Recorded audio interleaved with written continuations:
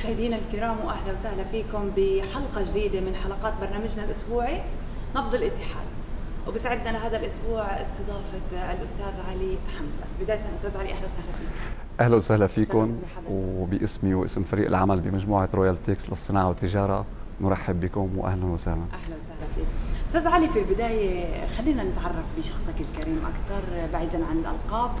علي حنبلاس من هو؟ علي حنبلاس من سوريا. مقيم بالإمارات من حوالي 15 سنة. آه بداية زيارة الإمارات كانت هي زيارة عبارة عن زيارة سياحة واستطلاع ما كان أي هدف؟ موجود بالنسبة بخصوص التجارة أو أي شيء. آه من ثم وجدنا سوق الإمارات هو سوق واعد وسوق قوي للعمل التجاري بشكل عام.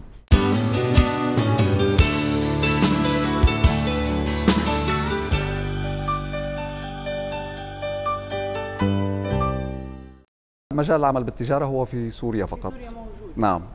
قصدي إنه قبل الإمارات؟ قبل الإمارات بسوريا. موجود, موجود. استطعنا نأمن بعض العملاء الموجودين بالسوق الداخلي الإماراتي بتجارة الأقمشة أقمشة المفروشات. وبدأنا نصدر إليهم أقمشة المفروشات. نفس ال field تبع اللي كنتوا تشتغلوا فيه بسوريا؟ آه نفس ال design نفس ال quality ممكن تختلف ال quality يعني. نفس الشغل نفس المجال. طبعا البدايه بأي مشروع تجاري هي صعبة. وبالذات أنت بالإمارات بسوق منافس وقوي جدا وجميع الشركات العالمية تتناطح في هذا البلد. استطعنا أن نثبت وجودنا بفترة قصيرة الحمد لله وذلك بسبب مصداقية العمل آه، جودة المنتج دراسة الأسعار كل هذا كان له تأثير. بدي أرجع شوي للبداية اللي اللي إجيت فيها للإمارات، دايركت بلشتوا بعمل خاص لكم بمجال الأقمشة؟ آه بدايه بداية الزيارة تعرفت على أحد الأصدقاء فكان مجال العمل هو تجارة الأقمشة. طبعا بعد نقاش ودراسة استطعنا أن نستحوذ على بعض العملاء ونصدر لهم الأقمشة من سوريا إلى الإمارات. كانت كبداية بال 2008 بال 2009 قررت أفتح شركة بالإمارات وكان المقر الرئيسي هو دبي، الانطلاقة من دبي. شركة اقمشه كانت خطوة جريئة. كانت خطوة جريئة وقوية ومنافسة بنفس الوقت. ما خفت مثلا من هالخطوة إنه أنت تتقدم لها؟ لا. لسبب آه، أي عمل ناجح بدك تنجحيه لازم أول يكون في له مقومات. الطموح مصداقيه العمل آه، قوة المنتج اللي عندك اللي عم تبيعيه دراسته بالسوق الكواليتي هذا كله بيلعب دور. فنحن كان هي الدراسة كانت كلها أنا ملم فيها. تستمر ولا تقدر بالضبط. آه، استمرينا الحمد لله. بفترة بسيطة استطعنا أن نستحوذ على قسم كبير من من السوق. لعام 2012 تقريبا كنا اكتسبنا سمعة جيدة جدا وسوقنا منتجات كثير منيحة. الحمد لله. بعام 2013 قررنا نتوسع. كان أول فرع للشركة هو بالشارقة بعد دبي طبعا. في إمارة الشارقة. عم نحكي بمجال المفروشات. بمجال المفروشات. الأقمشة دبي بالأساس كان ما في اختصاص تجارة أقمشة بشكل عام. بشكل عام. آه بالشارقة قررنا نختص بأقمشة المفروشات. بال 2013 ل 2014 كانت كمان آه، اختصاص بأقمشة المفروشات وكانت خطوة ناجحة جدا الحمد لله طبعا هذا كان بسبب السمعة الطيبة بسبب المنتج بسبب السعر بسبب آه، أريحية العميل. كله كان بيلعب دور. بال 2014 حاولنا نطور ندخل صنف جديد للمفروشات للأقمشة ضمن الأقمشة وضمن خط المفروشات. استوردنا المفروشات الجاهزة. لقينا من وين جبتوها؟ استوردنا من تركيا استوردنا من مصر استوردنا من الصين استوردنا من الهند استوردنا من عدة بلدان. وجدنا صعوبة وكانت بالاستيراد كانت الصعوبة لا الاستيراد كانت الأمور سهلة جدا. الصعوبة آه، بلشت بالمنتج ذاته. آه، انت جايبه منتج لتسوقيه الزبون العميل بالبلد آه، له آراء له آه، أذواق باختيار الأقمشة باختيار الأصباغ باختيار التشطيبات. فنحن كنا مجبرين بألوان معينة جايبينها. فالمشروع كان حتميا إنه بوادر الفشل بلشت تلوح. بدك تحولي الفشل لنجاح. فكان لازم يكون ما في حل ثاني إلا نحول الفشل إلى نجاح. فقررنا إنه نستورد نفس المفروشات بس بطريقة أخرى. عبارة عن فريم خشب آه، مواد بس مواد أولية.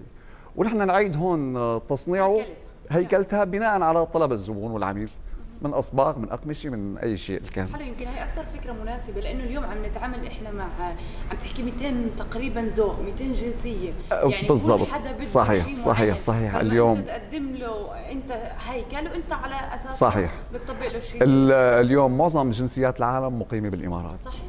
فأنت مضطرة انه تقدمي لكل الأذواق. صحيح. لازم ترضي ترضي جميع الأذواق. على الأقل جزء منها لحتى نحن استطعنا الحمد لله نرضي جميع الأذواق.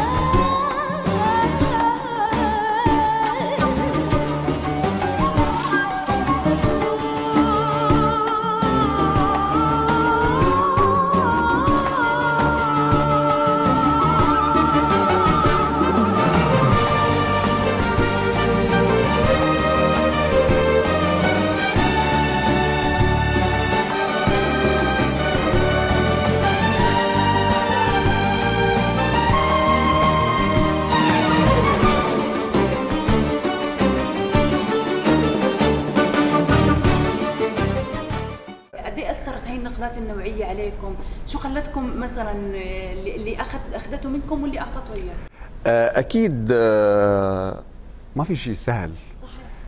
أي مشروع أي عمل تجاري أي خطوة بدك تخطيها دائما وبالذات بالإمارات فرح تكون مدروسة صح ومحسوبة صح آه، لأنه السوق كبير والسوق منافس جدا. فإن ما كنت قوية وعندك الخطوة الصح وبدرايه كاملة عن الخطوة اللي بدك تنقليها ممكن يضيعك العمل.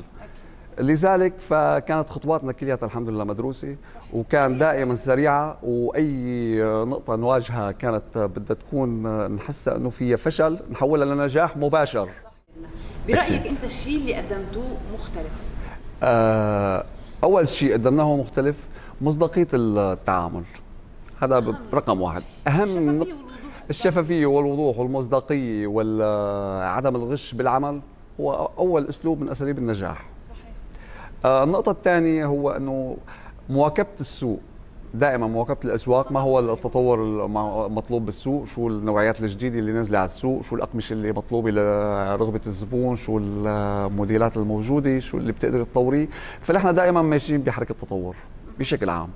أي موديل كثير آه، نحن بيجينا أيام عقود لمصانع خارج البلد. موديلات كلياتها بيطلبوها منا. بيعت لنا صور مثلا بنفذ له على الصور موديلات إيطالية موديلات إسبانية موديلات تركية. بتنفذوها copy paste يعني ما في في لكم مثلا بصمة ممكن تنتج؟ أكيد في لنا بصمة أكيد. إحنا عبارة هي التنفيذ عم بيكون إنه هو عم بيبعت شكل هيكلي على صورة يعني ما في شيء واضح بالمعالم بال بتفاصيل. بتفاصيل. نحن بننفذ بطريقة أفضل وبسعر منافس وأجود.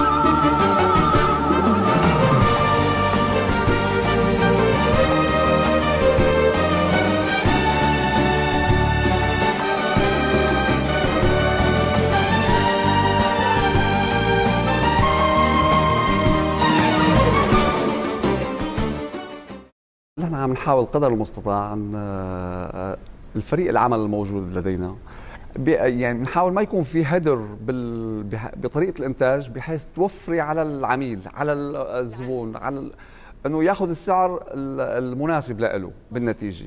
وما يكون في إنه مبالغة بالأسعار. نحن بنبيع جملة وبنبيع للسوق المحلي وبنبيع للسوق الخارجي. آه، الكواليتي من أفضل من أفضل المنتجات. نحن أي قطعة بتطلع من عندنا بنعطي عليها ضمان لا يقل عن خمس سنوات. أقل قطعة من اقمشه من آه، غرف نوم من غرف سفرة من أي منتج ضمن الأساس طبعا الأسواق اللي بنورد آه، لها السوق الإماراتي بشكل كامل ولنا عدة شركاء بكامل الإمارات من إمارة الفوجيرا لاماره راس الخيمة لاماره العين لابو ظبي للسبع إمارات اليوم و... وصلتوا لمرحله حلوة اليوم عم بتصنعوا برضه من داخل الدولة كامل نعم. بكل نعم. شيء اليوم نعم. عم تطلع القطعه جاهزه نحكي شوي عن هالمرحلة هاي طبعا الفضل الأكبر بيعود لدولة الإمارات العربية المتحدة ولحكام دولة الإمارات القائمين على هذه البلد آه، وحكومة وشعبا. طبعا الدرجة الأولى أي عمل تجاري أو أي صناعة رح يكون لها عوامل لتقدري تستقري فيها وتقدري تنتجي من وراها. العامل الأول هو الأمن والأمان رقم واحد. العامل الثاني هو التسهيلات الموجودة ب... التسهيلات والدعم الموجود على كافة المستويات من القطاع المصرفي للقطاع الخدماتي للقطاع الحكومي ل أي قطاع حكومي انت أي عمل تجاري عندك رخصة تجارية عندك أي شيء بخلال ساعات بينتهي موضوعه. فيك تست... ممكن وأنت قاعد بنفس المكان. بمكتبك. تستطيعي تستوردي شحنتك وتخلصيها وتوصلك لمصنعك آه، أوراقك آه، آه، الخدمات القطاع المصرفي أي شيء الأمور سهلة فيه. هذا من سبب مهم. أهم الأسباب اللي بتساعد دائما على نعم. النجاح دائما بنقول إحنا المحيط اللي حوالينا قد إيه هو محيط داعم أو قد إيه هو محيط محبط. بالعكس يمكن أنت لو بمكان ثاني اليوم يمكن ما قدرت توصل لهالمراحل. أكيد. أكيد. يمكن تحتاج وقت أطول لها. أنا بال... لما فكرنا نتوسع نحن بالشركة ونفتح فرع آخر لها آه زرت تركيا زرت مصر زرت ماليزيا زرت عدة دول. أغلب الدول اللي مشهورة, مشهورة في بالتصنيع وبالتجاره بنفس الوقت. بال بالآخر إنه استقرينا لا هو سوق الإمارات السوق الواعد والسوق الأفضل. بنستورد الأخشاب من آه، ماليزيا. وبنستورد من رومانيا. وبس فقط لا غير ما بنستورد شيء ثاني من حاليا غير الأخشاب.